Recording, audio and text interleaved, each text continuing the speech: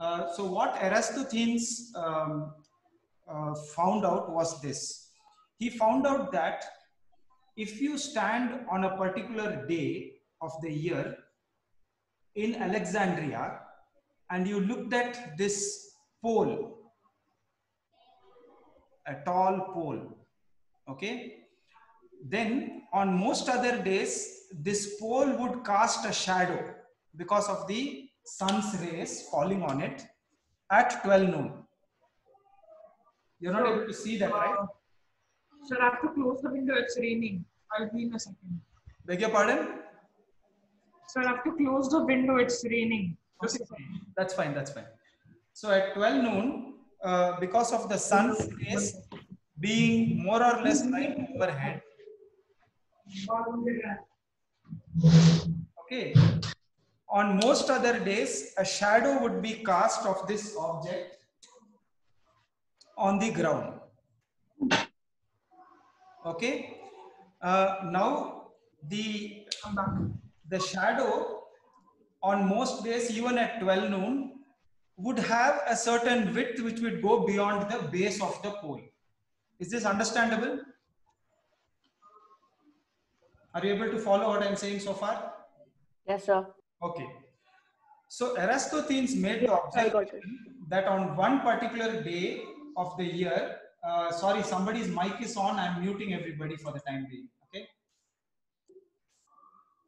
He observed that there is a there is a peculiar day a particular day in the year when there is no shadow cast in alexandria by that pole so he reasoned that the reason why this occurs is because on that particular day the sun's rays are following are falling exactly perpendicular to the ground. Are you able to follow this logic? Yes. Okay. So now, Sir, what's the what's the name of the Eratosthenes? Can you like write it again? I didn't. Eratosthenes. Uh, Sir, yeah. sir, did this help him reason that the earth was um, curved? Yeah. Oh, sorry, ph- spherical. Yes, it's curved and the curve, if you continue the curve, you will find that it is actually a sphere. Okay. So there is no problem in this because by the time the Greeks, Eratosthenes was a Greek, the Greeks had discovered geometry. Okay. And uh, in fact, they attributed uh, geometry to, to a creation of the God okay because it was pure logic right because why why is it so? Because something like this if you look at it there is no way to deny it. So for example uh, what is a line? If you ask then uh, according to the greeks a line or a line segment is the shortest distance between two points. Okay, and this is of course uh, comes from something called plane geometry. If you have spherical geometry, then it works out differently. Now, is it possible for you to draw any other um, uh, line which is shorter than this line between these two points? Let's say point A and point B. Is it possible? No, sir. It's not Sir. right? Anybody thinks it is possible? No. No. So that is what you mean by pure logic. Can So- you repeat? I didn't get that. Uh, so I'm saying that if there is some proposal placed like this, there are two points A and B, and a line segment is, a, is something which is the shortest distance between points A and B. You can of course draw something like this, but that's not a line segment. This is not a line segment, this is the line segment. And is there any other way to do this? There isn't. Okay, so by the grounds of plane geometry, this is pure logic. which means that it cannot be refuted. There is a way in which you can refute this. I'll talk about that later if you people are interested. But this was the ground that Eratosthenes used, the ground of plane geometry to prove the following. So I'm going to show you what he did. So what he said was, however, while this is happening uh, in um, uh, Alexandria, Dria, capital of uh, the Greek world at that time. If you go, uh, I don't know how many miles, but let's just say 120 miles to the north, okay? And uh, there must have been another city there. Does anybody know what that city's name was? I don't remember. Does anybody know? Athens. Athens? Okay, we can take it as Athens. In- Sir, sir, Yeah. Ath- Athens was an island. Huh? Sir, um, I think Athens was an island. Yeah, it was an island. Eh, Okay. I'm- Correct. I'm, I'm quite sure that the place uh, which Eratosthenes used for this purpose was not Athens, but we can take it as Athens. Or if you like, we can take it as Nagpur and Delhi. Okay. So it might as well have been Nagpur Yeah, sir. also doesn't matter okay so while you are having this particular day which is which is now known as the zero shadow day okay? It is not the same everywhere on the planet. Okay? At the same time in delhi the same height of the pole if you use you will find that it does have a shadow. Okay? So how did that prove to eratosthenes that the world was that the uh, the planet earth was curved? The argument goes somewhat like this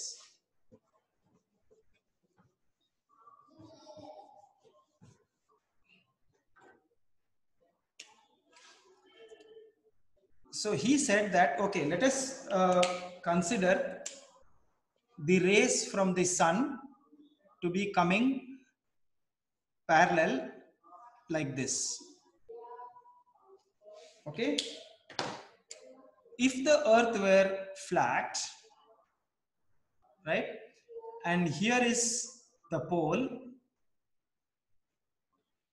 on this particular place you are going to have zero shadow day zsd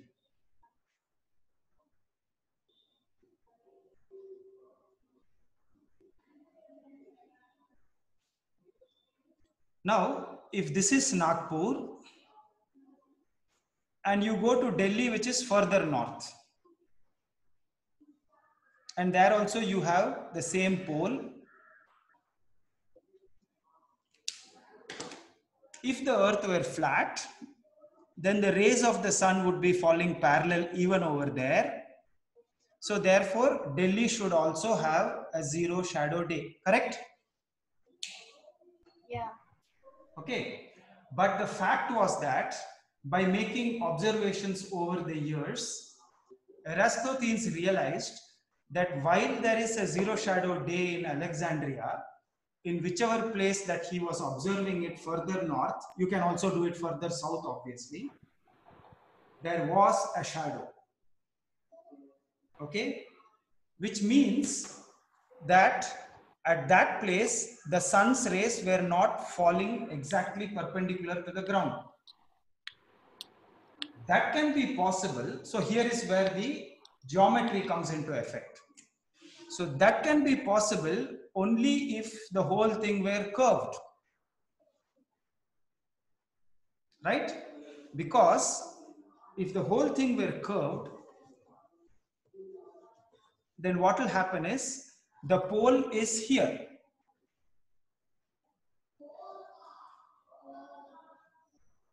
Isn't it? Oh, sorry. I can't draw it like that. It has to be perpendicular to the ground, right?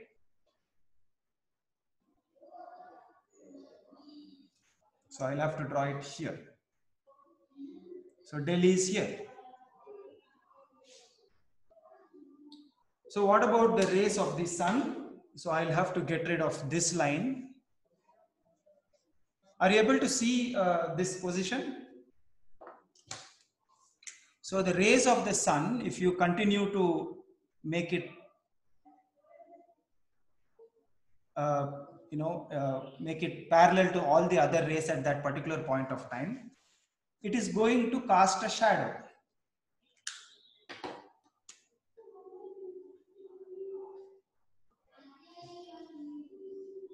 Yes, do you see this? Yes, sir. Sir, I have a question. Yeah, Prakriti. So, did they know at that time that the sun's rays were parallel to each other? Ah, that's an important question. Uh, you you have to uh, um, come to that question also. How can you say that the sun's rays are parallel to one another? Isn't the sun uh, a, a, sphere? So if the rays that are coming out from there um, are emanating from that sphere, then will this will the uh, so basically the idea would be something like this, right? So if you take the sun to be a spherical object in the sky, and the rays of light are coming out from it like this, right? Then these rays are obviously not parallel to one another. Okay, so for that we have to understand uh, a little, come a little bit into the future. Um, so what we are looking at this the size of the sun. So we I'm I'm talking from the modern perspective now. Okay, the size of the sun in comparison to the size of the earth over the distance that the sun is from the earth makes the earth so tiny okay that in this scale if i were to draw um, the sun as the size of let's say a pea can you see the pea sized sun now Yeah. Okay? Then this whiteboard is not sufficient for me to show the earth but okay i will do that. I will try to put the smallest dot that is possible for me to put. I, I don't even know how i'm going to do that but okay. So i'm going to put the earth somewhere at the edge over there. Okay? So this are you able to oh you can't see that no? Is it out of the- Yeah, so we can see the edge. You can't see the okay I'll. Yeah, you can. move the board a little bit is the sun still in view No, sir. No, So sir. both aren't in view. both aren't in view okay so i'll keep the sun in view is the sun in view now Uh, Yes. yes.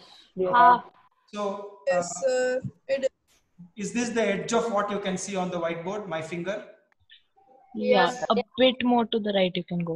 Okay. So i go as far as i can okay? And i draw a tiny little dot that nobody can see. Okay so the, the the earth is so tiny in comparison to the sun and the distance between the sun and the earth are so far away that these that the ray of the rays of light that are incident upon the sun that are falling upon the sorry incident upon the earth can be considered to be more or less parallel to one another are you buying that argument It's a little Yes, sir. confusing. Yes, already sir. bought it, sir. So we bought it. 90% sale. 90% say can we can think of it as a as Yeah. a lamp like as a lamp that Ah. has like one bulb Ah, okay and and we put some full stop on a page somewhere yeah yeah yeah yeah. Then the light and are falling on the full stop. Yeah they're parallel. They are parallel. Or i can uh, make it into an argument like this.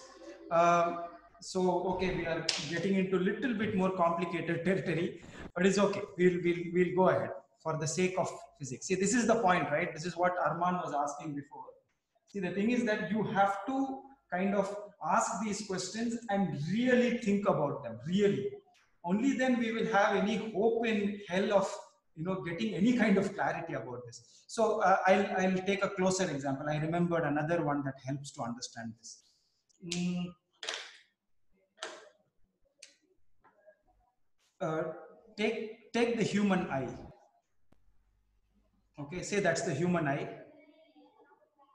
And uh, you're looking at an object, a tiny object like that. Or okay, why tiny object? We'll make it a slightly larger object. Okay, now you are able to see this object because the ray of light from the top and the bottom of this object are falling on your eye, correct? Is this clear? Yes, sir. Yes, sir. Yes, sir. Okay, uh, this is especially for all those who said that you are not able to follow the argument closely enough. Okay, now if I move this object further away, okay, so I move the object further away and put it there. What I want you to consider is this angle. Okay, let us call this angle as what should I call it? Theta. Do you know the word theta? No. No? Okay. So this is a Greek letter theta, uh, which is often used to refer to angles. Okay. Just keep it like that. There is a certain angle. Now, if you are able to see the object further away, then the rays of light from this object are also reaching your eye, correct? Yes. Yes? Yeah. What, what happens to theta then? Decreases. Uh, it becomes more acute. It, ma- it becomes more acute, it decreases. Yeah. Are, is everybody agreeing with this? Yes, sir. Yeah, yeah, yes, sir. Especially Yeah. those who are saying we, we don't get But sir, you, your field of vision will increase, no, from here with I'm the theta. about- yes, the field of vision is is what it is. But I'm saying you are looking at this object. The object's dimensions are not changing. I'm taking the object further away. The angle which this object subtends on the eye, will it decrease or not? That's all I'm asking. Okay, It does? Okay. decreases. decreases. So you move this object even further away. Theta will still decrease. Yeah. Yeah. At some point of time, of course, you will stop. You will stop being able to see the object. Okay. Hmm. Let us not get into that. But as a thought experiment, Mm, it's very important to do thought experiments in physics. Okay. Some of you might be uncomfortable with this, but that's where the thinking starts. Now, if I say that I keep moving this object further and further away, will not the angle theta keep decreasing? It will. It will. So, will there not be some point where the angle theta reduces to such an extent, right, that these two lines can be more or less considered parallel to each other? For after Yes, sir. for Yeah. after what are parallel lines? Yes, sir. Parallel lines are lines which will never meet in the sense that there is no angle between the two of them. Isn't it? If the lines meet, then you can say there is an angle between them. But if you keep bringing these lines closer and closer together, you can say that there is a point where the two lines, you can say that they become the same line, argument's sake. But you can say that if the theta keeps decreasing, then more or less the two lines are parallel to one another. That's exactly what happens to the rays of light falling on the earth from an object mm. as far away as the sun. You get the logic? Yes, sir. Yes, sir. Now, now is everybody more? Hello, So can you mute everyone? Rohan, switch off your mic. guys. Can you just mute? I'm muting now, so forget about it. Okay, done. All right. So now are you convinced that the rays of light, although I said they are parallel to one another, I can say that they are so uh, the angle between them is so small, considering the distance from the Earth to the Sun, that we can consider them more or less parallel to one another. Correct? Yeah, now I get it. Get it? Super. So now we come back to Eratosthenes and Eratosthenes then compared the, so basically it's triangle geometry now. Okay, because you have a triangle over here and you say that uh, if this object is a sphere, so I'll, I'll redraw over here because I have to draw it somewhat closer. Uh, and I draw, produce this line further onwards and I produce this one further onwards. Where will these two lines supposedly meet? Center. Core of the earth. Center of what? Yeah, center of the earth. Center of the earth. Center of the earth. Equator. Yeah, uh, equator, nahi, equator, nahi, the center of the sphere.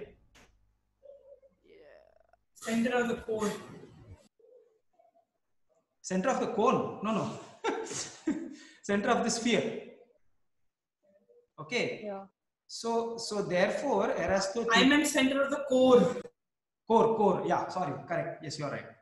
Okay. So, if these two lines, when produced downwards, meet at the center of the core, right? Then the shadow that is cast by the noon sun at this place also allows you to tell what is the curve between these two points and what will be the angle over here. Okay. So, sir, And so, not only did he prove that the earth is sphere using geometry, therefore irrefutable evidence, he also gave one of the first estimates of the radius of the earth. It was just a result of the geometry. Okay, so when Eratosthenes gave this concept, the whole idea of the flat earth model got completely thrashed, isn't it?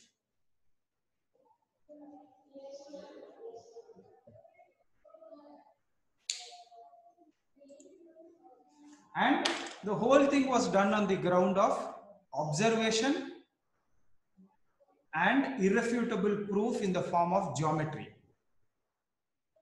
And now the Greeks were in a fix. Okay, now any questions about this?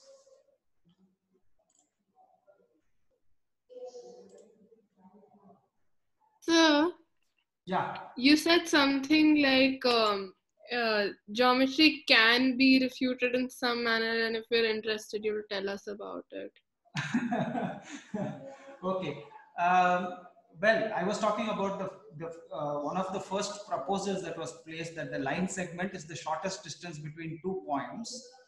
Um, that can be uh, uh, that is true only in a particular form of geometry called plane geometry.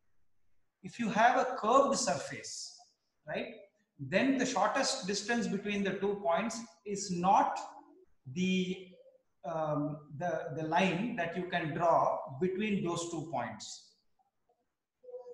Do you, do you get this idea? I'll try to show you. Are you talking Yes, sir. about brachistochrone or something? Yeah, the brachistochrone.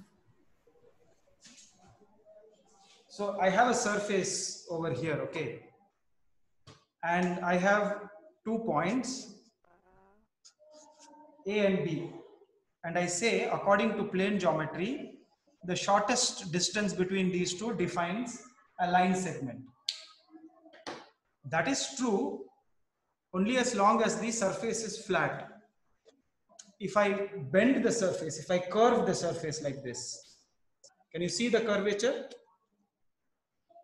Yeah. Yes. Yeah. right? So then the shortest distance is obviously not what is drawn on the surface, right? It is the shortest distance in three-dimensional space. So I can connect the two points like in that plane, like between here and here. Hmm. Yes, sir. And that will be the shortest distance. So curved surface geometry is different from plane surface geometry. But that's a different point altogether. I have a question. Yeah. Could you repeat this? Um, just what you said before. So my connection was lost, thoda sa beach mein, so I couldn't really hear you. Yeah. So what did you say before? You said that um that guy helped during the this thing he during something with the core and yeah something radius of the earth. I only could catch some parts of it. uh, uh, if somebody else heard it and you got it, uh, particularly what question she is asking, can you answer that, please? So, It's a question, Rohani. so So Yeah. basically, I had lost connection in the middle. Okay. So something, um, what you said before when that guy discovered the radius, gave us a vague idea of the radius of the Earth. Yeah. Whatever you said before, could you repeat that? Uh, uh, nothing. I was just saying that uh, if you draw the uh, two lines and you produce them inwards, where will they meet? So people said it will meet obviously in the center of the sphere. And then uh, with the property of the triangle that is formed over there, he was able to say what is the curvature that is there. So what will be the curve between this point and this point? What will be the length of this arc? And therefore from that he can extrapolate and tell you what is the entire that the whole earth is a sphere and not only that he can also give you a, a kind of a measure of what the radius of the earth was also so basically he was But I didn't understand why it. you didn't understand why Yeah, I didn't understand why it had to be a curvature. Why didn't you think that it was just a straight line uh, between the two? yeah but if, if it was a straight line if the earth was flat then there will be no shadow on the same day at both points no simple as that Mm. So it was- Okay, so that's it. Nothing yeah, more. Yeah, yeah, that's it. That's it. Nothing more than. Okay, okay. Yeah. Thanks. Okay.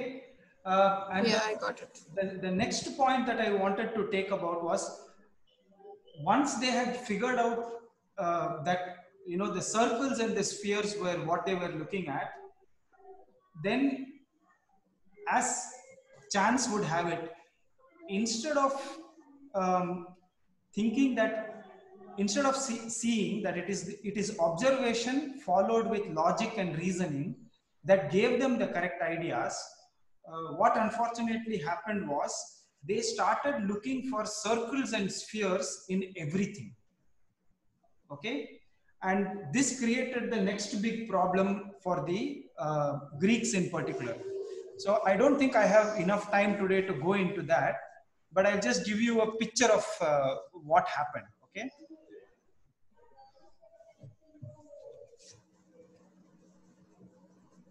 the, the, the problem that had developed at that point of time was they said, okay, uh, the solar system has, is organized something like this. In fact, they called it the universe. They said that the sun is something which is there at the center of it all. Okay? Uh, sorry, not the sun, the earth, beg your pardon.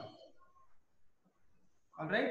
And then they placed the sun on a spherical path going about the earth. Okay, so they gave a position for the sun. They gave a position for the moon. And uh, they put all the stars in a fixed position everywhere around it.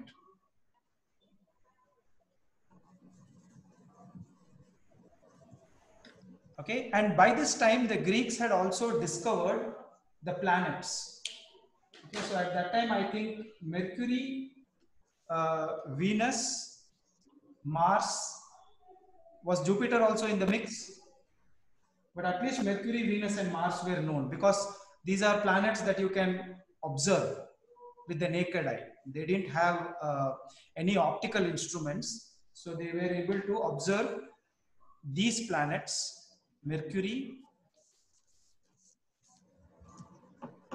Venus, and Mars. I'm not sure about Jupiter. Sir, how did they just, um, you know, confuse them with stars? I mean, I confuse them with stars. Correct, because they look like stars, right? When you look at them in the night sky. Yeah.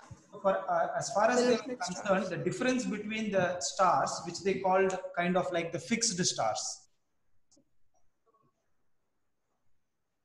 right? And so the fixed stars were stars that did not change their position when you observe them in the night sky with regard to each other. But these uh, uh, planets, what we today call planets, and the word planets come from uh, mean wanderers. Any idea why they are called wanderers? Because Because they they keep moving. Moving. Because they keep moving. because they keep moving, right?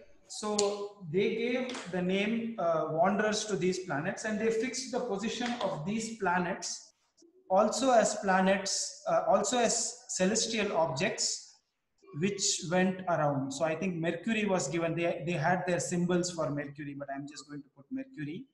Um, let's put Venus over here and let's put Mars over here. Okay? And this was the accepted model of the universe as they knew it at that point of time. And what they said was that each one of these objects has its own crystal sphere. Why crystal?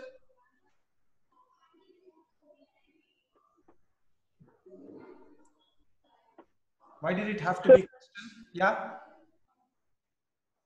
Oh no, sir. Uh, nothing. Because they can see the stars behind them. Exactly, because if they were solid spheres, which were uh, not, uh, which were uh, uh, what kind, what do you call that uh, when objects are not transparent? Opaque. Opaque, Fake. right? If they were opaque spheres, then you have to, you cannot see objects beyond it. So that is why each one of these were given a crystal sphere, so that you can see through them. And then these spheres rotated at different speeds.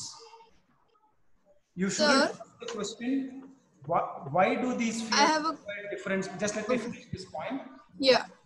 spheres have different speeds and who is making these spheres rotate those were questions that you are not supposed to ask because they were all acts of god okay in fact uh, the uh, in the um, uh, aristotelian view all of these objects were made out of something called quintessence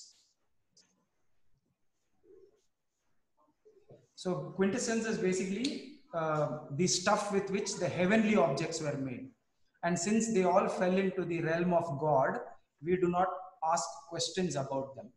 But then, of course, there were people who asked questions about them secretly at the beginning, but pretty soon it became clear that this model also does not work very well. What those observations are and how they destroyed this particular model of looking at the universe, all that we will see in the following class. Okay? So,